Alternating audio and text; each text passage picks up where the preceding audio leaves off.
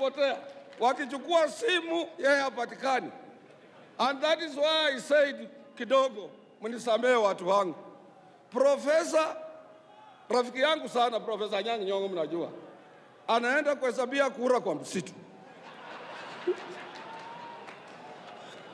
yeah.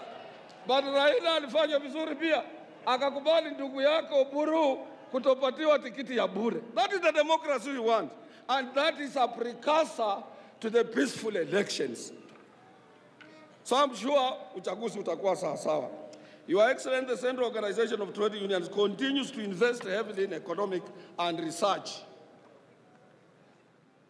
And as we invest in research, Your, Your, Your Excellency, we don't ask for anything that we have not fully researched.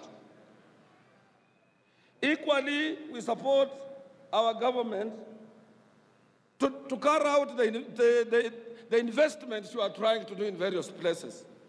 But it is our sincere appeal to you that the government also should invest in projects that can spur economic growth and create employment to the majority of Kenyans. We support you on that one. And when you see, as Your Excellency, being proud here and abroad,